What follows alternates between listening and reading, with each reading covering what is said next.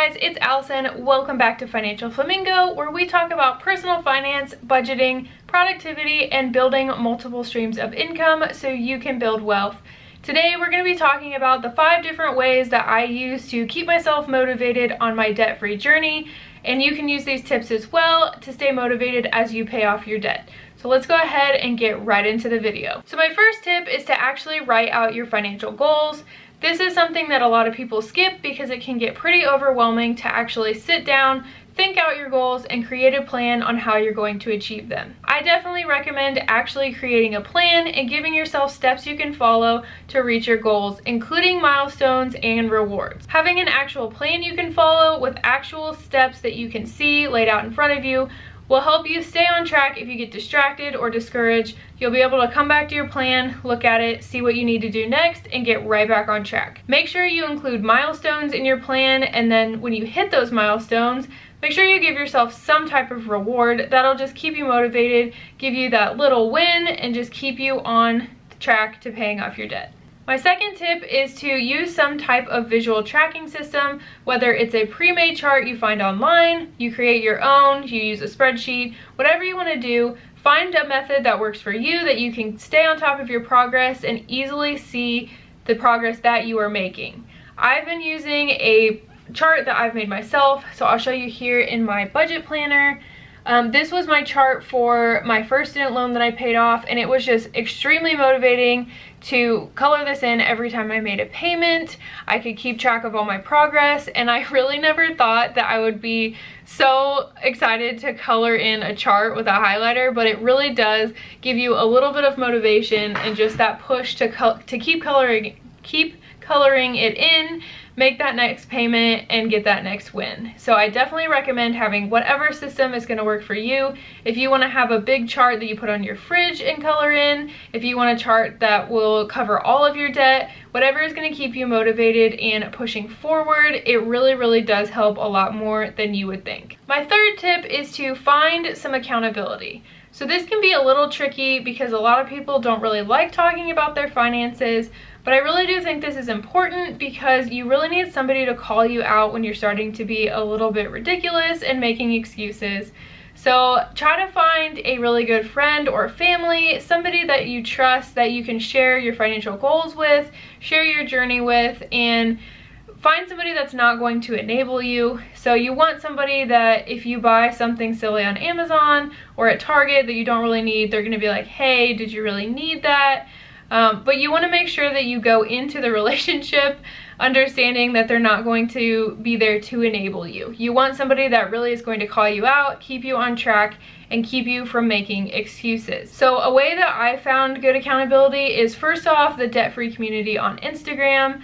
I have kind of transformed my original personal Instagram um, in the debt-free community into my business Instagram, but I still share tips and tricks in my own personal financial journey, and I use that for accountability for myself. If I post something, I really want to achieve it so that I can show others that it can be done and just to motivate and inspire others. I love seeing other people's journeys on Instagram and it motivates me seeing their wins so I just hope that sharing my story will motivate others as well everybody's financial situation is different, so not everybody relates to everyone else. So sharing your journey, you might find somebody that relates to you who didn't really relate to that many other people and you could motivate each other. Something that I've recently started doing is my Flamingo Fundamentals membership and the point of this membership is partly to give the members and myself financial accountability so we share our goals, share our wins, share questions and things that we need help with and it's really just been a great way to chat every Tuesday during our live streams and hold each other to our goals. Um, it's really been honestly great for me because I really just want to um, if I share my story, then I'm hoping that the other members will be willing to share theirs as well and we can all help each other out.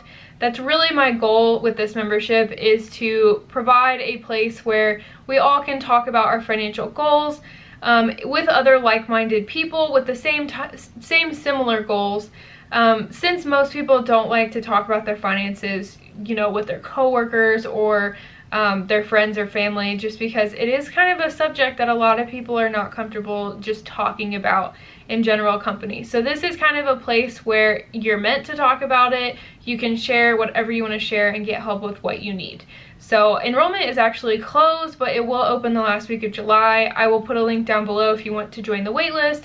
But if you could find some type of community like that, or if you want to get a couple friends together that do a similar type thing where you share your wins and your goals and ask each other for advice, that is something that you could do to build a little community where you all can improve your own financial situation without having to make yourself as uncomfortable trying to, you know, talk to um, a friend that doesn't really want to set financial goals or something like that. So finding a community and finding accountability can definitely go a long way to keeping you motivated and finding help when you need it. My fourth tip is to surround yourself with things that are motivating. So whether that is listening to a podcast that you really like that gets you pumped up about hitting your financial goals or um, if you want to follow debt-free accounts on Instagram, uh, or Facebook. There are a ton of good YouTube channels out there. I will link some of my favorites down below if you want to check those out.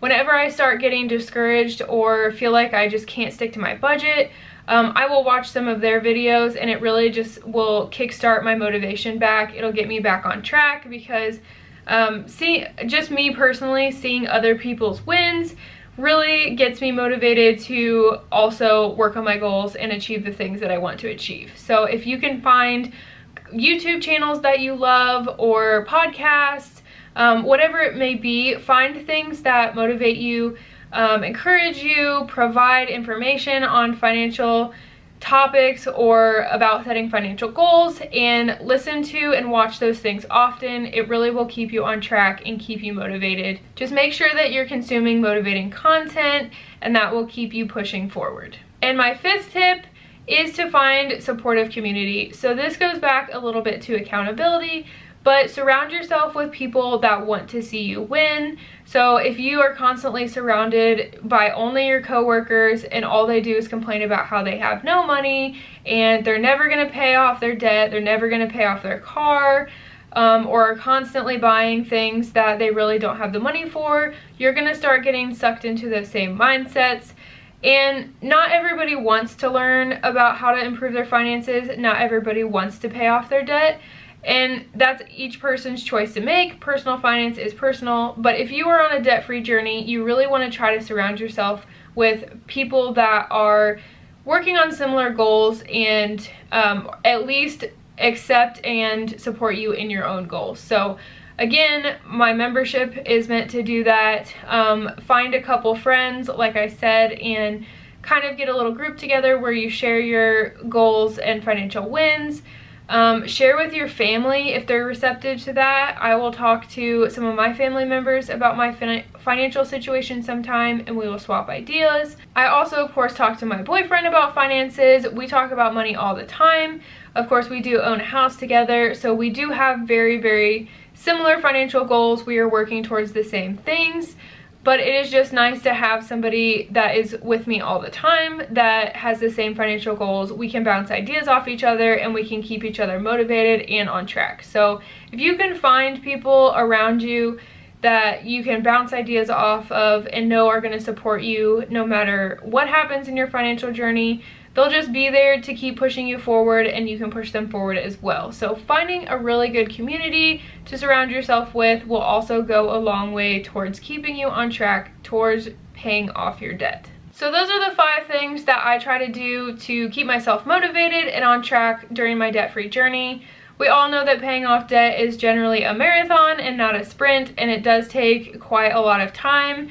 I am not a patient person and it definitely takes a lot of patience. So having routines and community and support in place to keep yourself on track is really important, especially having a plan that you can go back to if you get distracted or discouraged. I really, really recommend trying some of these tips if you're starting to feel discouraged or feel like you're never gonna make it on your debt-free journey. You can, you totally can. It'll just take time and patience keep yourself motivated and stay on track. So thank you guys so much for watching this video. I hope these tips helped you out and gives you some ideas on how you can stay motivated.